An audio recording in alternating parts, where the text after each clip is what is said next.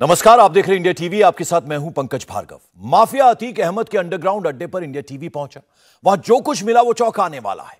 अतीक अहमद अपने अंडरग्राउंड अड्डे पर दुश्मनों और रंगदारी देने से मना करने वालों को कैसे तालिबानी अंदाज में सजा देता था? अपने लोगों के मनोरंजन के लिए कैसे वो मुजरे वाली महफिल सजाता था?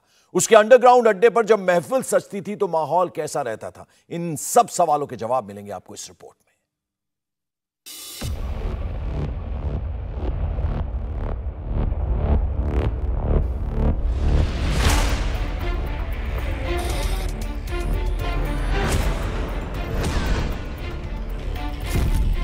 माफिया अतीक अहमद के खुफिया तहखाने तक एसटीएफ और पुलिस पहुँच चुकी है।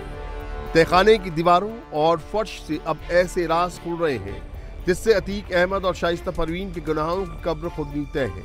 पुलिस को अतीक के कार्यालय से चौहत्तर लाख से ज़्यादा कैश और हथियारों का जखीरा मिला है। अब पुलिस इस बात का कनेक्शन जोड़ने में लगी है कि क्या इन्हीं हथियारों का इस्तेमाल उमेश पाल के मर्डर में किया गया? क्या इन हथियारों को करबला स्थित अतीक के दफ्तर में शाइस्ता परवीन के इशारे पर छुपाया गया। फ्रीडम ऐप से सीखकर क्या आप पिसे हुए तेल का उत्पादन करते हैं? अगर ऐसा है तो आप अपने तेल को एक करोड़ फ्रीडम ऐप के जो ग्राहक हैं उन्हें बिना किसी खर्चे के आप उसे बेच सकते हैं। इन तमाम सवालों के जवाब आज मिलेंगे लेकिन पहले अतीक अहमद के इस रहस्य लोक का वो रहस्य आपको बताते हैं जो अब तक आपने नहीं देखा होगा। अतीक अहमद के काले कारनामों की कुंडली खोलने के लिए इंडिया टीवी संवाददाता अभय पराशर उसके रहस्य लोक में पहुँचे।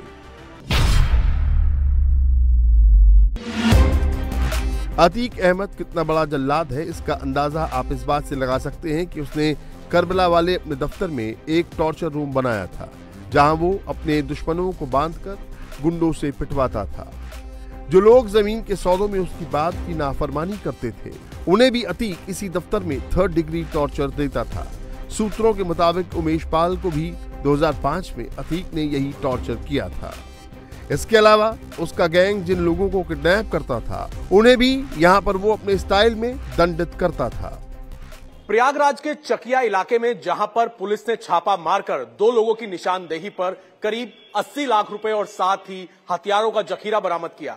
इसी घर के अंदर से पुलिस ने ये तमाम हथियार और कैश जो है उसकी रिकवरी की। जिसके बारे में लगातार इन गिरफ़्तार आरोपियों से पूछताछ की जा रही है। बताया जा रहा है कि अतीक अहमद का एक 16 साल पुराना ड्राइवर और साथ ही 19 साल पुराना मुंशी जो है, उन्होंने उमेश पाल हत्याकांड के बाद पैसों को और साथ ही हथियारों को इसी घर के अंदर छिपाया था। ये पुराना कार्यालय है, जिसे प्रशासन ने कई बार तोड़ा भी है। लेकिन पीछे की तरफ़ ये जो कमरे बने हुए हैं, यहाँ पर अतीक अहमद का जो काला धंधा था, उसका हिसाब किताब उसका लेखा जोखा यही हुआ करता था। साथ ही अतीक अहमद ने अपने इस दफ्तर के अंदर एक टॉर्चर रूम बनाया हुआ था। साल 2005 के आसपास बताया जाता है कि ये जो कमरा आप देख रहे हैं, इस कमरे का नाम दिया गया था टॉर्चर रूम।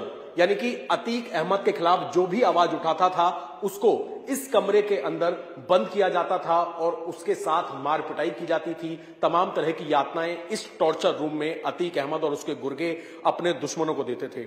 यह भी कहा जाता है कि उमेश पाल को करीब साल 2005 में जब एक बार किडनैप किया गया था, उसको भी इसी टॉर्चर रूम में बंद करके अतीक अहमद और उसके लोगों ने उसे यहाँ पर टॉर्चर किया था, उसके साथ मारपीट की थी। ये जो कमरा है, पूरे प्रयागराज के अंदर इसके बारे में कहा जाता है कि हर कोई जो भी अतीक अहमद का दुश्मन होता था, उसको इस कमरे में लाया जाता था और फिर उसे टॉर्चर करने का काम शुरू कर दिया जाता था। इस पूरे मामले के अंदर कई सारी टीमें जो हैं, यूपी एसटीएफ की तमाम जगह इस वक्त छापेमारी कर रही हैं ताकि असद और बाकी के शूटर्स को पकड़ा जा सके। अतीक के रहस्य लोक में सिर्फ़ टॉर्चर रूम और हथियारों का तहखाना ही नहीं था। वहाँ पर अतीक ने अपने मनोरंजन के लिए एक मुजरा रूम भी बनवा रखा था। अतीक का मुजरा रूम दफ्तर की पहली मंजिल पर था। सूत्रों के मुताबिक अतीक और उसका भाई अशरफ यहाँ पर अपने गैंग के खास लोगों के साथ मुजरे का मज़ा लूटते थे। कमरे के तीनों कोनों पर अतीक और उसके मेहमानों के बैठने का इंतज़ाम होता था। और फ्लोर पर लड़कियाँ मुजरा करती थी। इंडिया टीवी इस वक्त मौजूद है अतीक अहमद के रहस्य लोक में। वही रहस्य लोक जिसे अतीक अहमद का कार्यालय भी कहा जाता है और यहीं से करीब पिछहत्तर लाख रुपए और हथियारों का जखीरा जो है, वो बरामद किया गया है। अतीक अहमद किस तरीके से अपने इस दफ्तर के अंदर अयाशी किया करता था, उसकी एक एक तस्वीर हम आपको दिखाने जा रहे हैं। फ़र्स्ट फ्लोर पर इस वक्त मैं मौजूद हूँ और फ़र्स्ट फ्लोर पर आप जैसे ही आएँगे, सबसे पहले यहाँ पर एक किचन बनी हुई है। और किचन किस काम में ली जाती थी वो भी मैं आपको आगे बताऊँगा। असल में फ़र्स्ट फ्लोर पर था अतीक अहमद के अयाशी का अड्डा।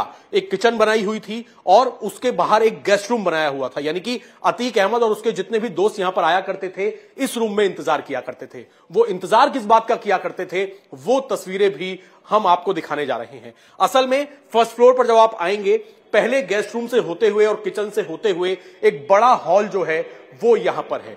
इस हॉल के अंदर, हालाँकि तमाम तरह की जो पार्टी से जुड़ी हुई जो फाइलें हैं, वो यहाँ पर आप देख सकते हैं। बल्क में यहाँ पर तमाम फाइलें जो हैं, वो यहाँ पर रखी हुई हैं, जिसमें समाजवादी पार्टी से लेकर बसपा तक की अगर बात करें तो उन सबके बैनर, पोस्टर यहाँ पर अतीक अहमद के पोस्टरों के साथ यहाँ पर पड़े हुए हैं। इसके साथ ही, किस तरीके से अतीक अहमद ने अयाशी का अड्डा यहाँ पर बनाया हुआ था, वो तस्वीरें हम आपको दिखाएँगे कि इस पूरे हॉल को यहाँ पर मुजरा हुआ करता था। और अतीक अहमद ने बाकायदा अपने कार्यालय के अंदर एक मुजरा रूम भी बनाया हुआ था, जहाँ पर अतीक अहमद, उसका भाई अशरफ अपने दोस्तों के साथ, रसूखदार लोगों के साथ मुजरा देखा करता था।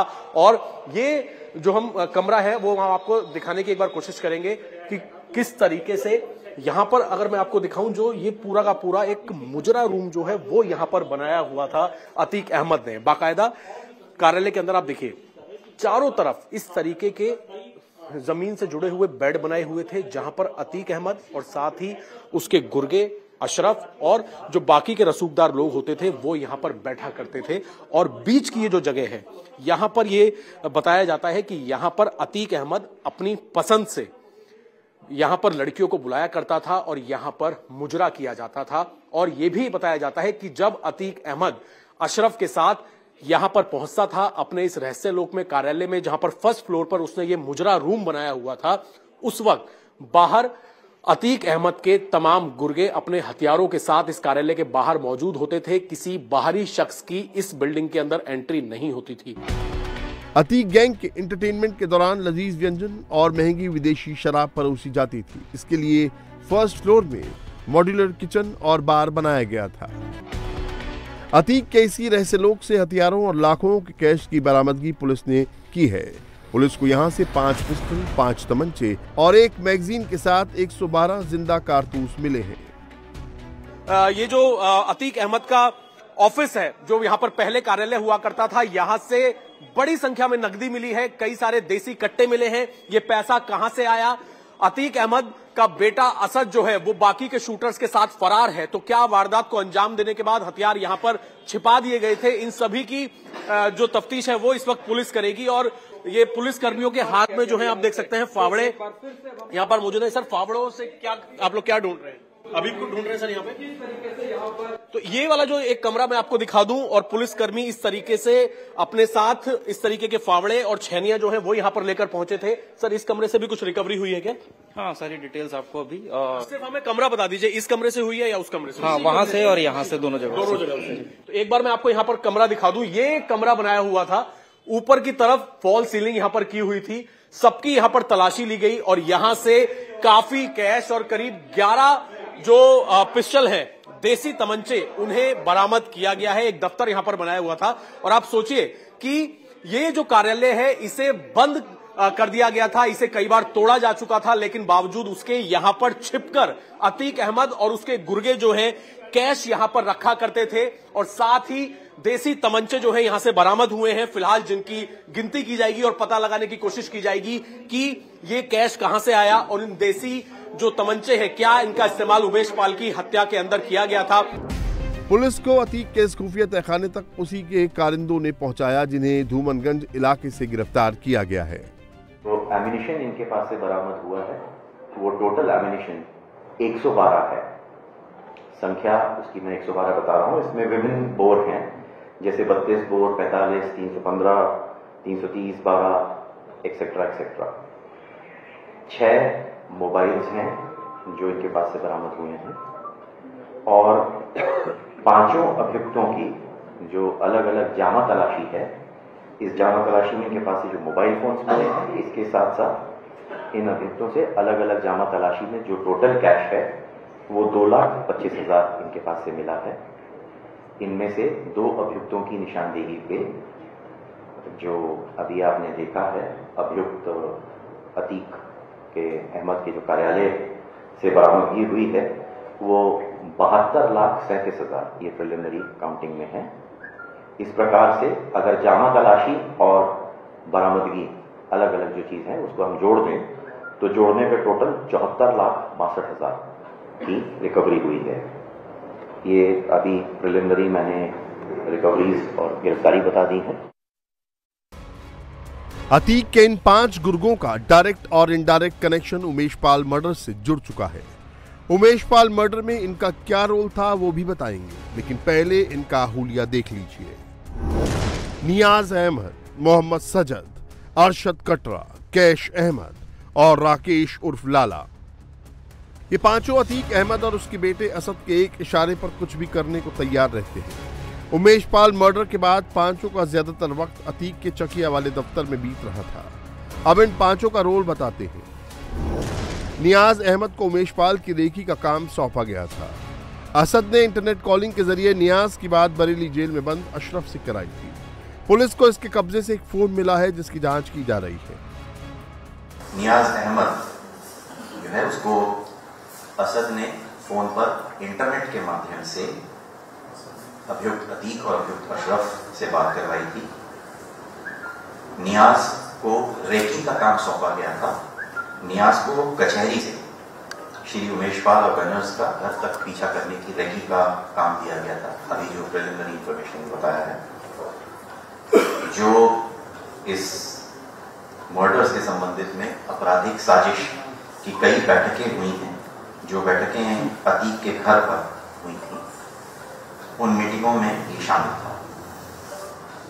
इसके पास से एक फ़ोन बरामद हुआ है, जिसके संबंध में अभी अग्रिम छानबीन की जा रही है। दूसरा आरोपी मोहम्मद सजद धूमनगंज के सुलेम सराय का रहने वाला है और उमेश पाल का पड़ोसी है।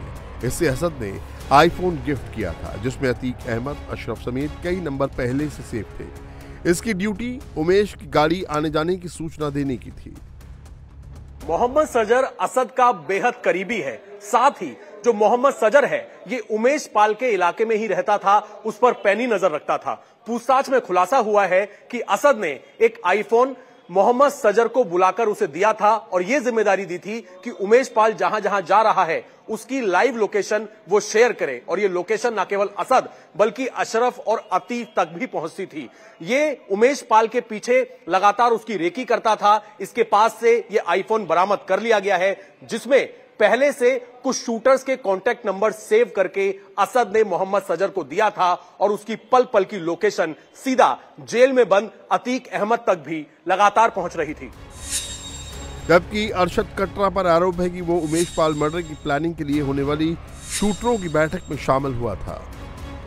अब पुलिस ये पता लगा रही है कि क्या शाइस्ता परवीन से भी वो मिला था, जबकि कैश अहमद 16 साल से अतीक अहमद के परिवार के सदस्यों की ड्राइवरी करता था। 24 फरवरी को उमेश पाल मर्डर के बाद हथियारों को छुपाने का काम कैश अहमद को ही सौंपा गया था। तीसरा आरोपी जिसे प्रयागराज पुलिस ने उमेश पाल हत्याकांड की साजिश में शामिल होने के लिए गिरफ़्तार किया है, उसका नाम है अशरद कटरा। अशरद कटरा के ऊपर आरोप है कि असद जब इस पूरे हत्याकांड की प्लानिंग कर रहा था तो ये भी असद के साथ उन बैठकों में शामिल हुआ करता था, जहाँ पर उमेश पाल की हत्या की साजिश रची जाती थी। इसके पास से ऐसे कई मोबाइल फ़ोन मिले हैं, जिनसे ये साफ़ पता लगता है कि उमेश पाल की हत्या के लिए किस तरीके से कई बैठकें की गई थी, जिसमें पूरी प्लानिंग रची गई थी और ये प्लान किया गया था कि उमेश को कितने बजे कहाँ पर ठिकाने लगाना है। चौथे आरोपी का नाम है कैश अहमद और कैश अहमद अतीक अहमद और असद का 16 साल से बेहद वफादार है। ये अतीक और अतीक के परिवार में ड्राइवर की नौकरी कर रहा था और जैसे ही उमेश पाल की गोली मारकर हत्या की गई, उसके बाद सभी असलों को और कैश को छिपाने का काम कैश अहमद ने अपने एक साथी के साथ मिलकर किया था। और कैश अहमद, जो कि अतीक का एक पुराना वफादार ड्राइवर है, उसी की निशानदेही पर ये जो अतीक का दफ्तर है, इसी दफ्तर के अंदर के एक कमरे से करीब 80 लाख रुपए कैश और पाँच पिस्टल और पाँच देसी तमंचों को बरामद किया गया है। साथ ही ये भी बताया जाता है कि कैश अहमद को ये निर्देश अतीक अहमद, असद अतीक अहमद की पत्नी ने दिए थे कि किस तरीके से वो हथियारों को और कैश को ठिकाने लगा दे, क्योंकि कैश अहमद पर ही अतीक अहमद को सबसे ज़्यादा भरोसा था। राकेश उर्फ़ लाला का कैरेक्टर सबसे दिलचस्प है। औरंगदारी से आई रकम को ठिकाने लगाने और अतीक के कहने पर इधर उधर पहुँचाने का काम करता था। आरोप है कि उमेश पाल मर्डर के बाद असद के कहने पर कैश और हथियार करबला वाले दफ्तर में लाला ने छुपाए थे। पांचवा आरोपी का नाम है राकेश कुमार उर्फ़ लाला। राकेश कुमार भी अतीक अहमद और असद का बेहद वफादार था। ये करीब 19 साल से अतीक अहमद के घर में ड्राइवर के साथ उसके मुंशी का भी काम करता था। फ्रीडम ऐप से सीखकर क्या आप पिसे हुए तेल का उत्पादन करते हैं? अगर ऐसा है तो आप अपने तेल को एक करोड़ फ्रीडम ऐप के जो ग्राहक हैं उन्हें बिना किसी खर्चे के आप उसे बेच सकते हैं। यानी कि अतीक अहमद के काले धंधों से जो भी कमाई होती थी उन पैसों को ठिकाने ये ही लगाया करता था। और इसके ऊपर अतीक अहमद को इतना भरोसा था कि जैसे ही ये हत्याकांड हुआ उसके बाद पैसों को छिपाने की ज़िम्मेदारी राकेश कुमार उर्फ़ लाला को दी गई, क्योंकि पिछले 19 साल से जो भी काली कमाई होती थी, उसका लेखा झोंका यही राकेश कुमार उर्फ़ लाला रखा करता था। फ़िलहाल ये सभी पाँचों आरोपी पुलिस की गिरफ्त में हैं और पुलिस की कोशिश यही है कि जल्द से जल्द इस हत्याकांड के मुख्य आरोपी अतीक अहमद के बेटे असद तक पहुँचा जा सके। पुलिस को छापेमारी में अतीक के रहस्य लोग से एक कोल्ड ब्रांड की पिस्टल मिली है। इसकी कीमत चार लाख बताई जा रही है। आरोप है कि असद ने इसी पिस्टल से उमेश पाल पर ताबड़तोड़ फायरिंग की थी। असद समेत पाँच शूटर अभी भी फरार हैं। असद के बांग्लादेश भाग जाने की आशंका जताई जा रही है, जबकि बम्बाज गुड्डू मुस्लिम की आखिरी लोकेशन मेरठ के पास मिली है। पुलिस और एसटीएफ की 22 टीमें शूटरों की तलाश में हैं। इंडिया टीवी हर वक्त, हर जगह। डाउनलोड करने के लिए सर्च करें India TV news, Google Play Store या एप स्टोर पर।